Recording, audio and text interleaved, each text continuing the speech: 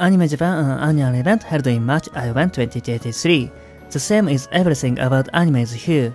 Each company has its own booth, with a focus on new anime releases. Talk shows are held and many guests appear, especially voice actors. It is a good experience to see them live.